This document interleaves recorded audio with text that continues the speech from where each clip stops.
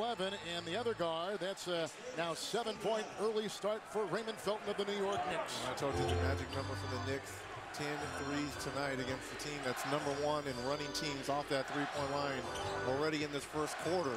Two or three. J.R. Smith just came off the bench, and here he goes. Felton had a hand on it. Foul called on Indiana. There's the Knicks are flying high to the rim. Right off the bench, J.R. Smith off the bench, heard from. Well, here's the bad pass by David West that leads to the fast break opportunity for J.R. Smith. How about the contest at the rim by Paul George? But the rest of the Indiana Pacers a little bit slow in transition.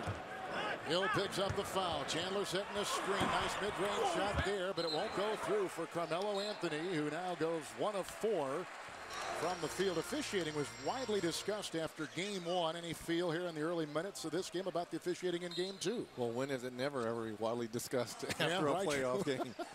no, Indiana wants to play physical. They want to get up in you and they want to force you to drive and they want to force you into David West. Nice dump down to Tyson Chandler. And they want to force you into Hibbert and David West. And if the officials allow them to be physical, um, they're very tough.